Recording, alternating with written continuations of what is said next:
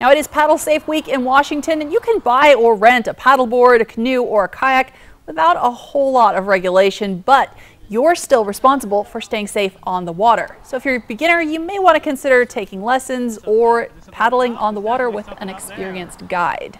Uh, stay hydrated, know your limits, and basically if you, um, if you run into a problem,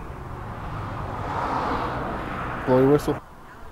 Some of the safety measures to take include staying hydrated, as he mentioned, wearing a Coast Guard life jacket, carrying that whistle as required by law, and keeping yourself tied up to the kayak or paddleboard.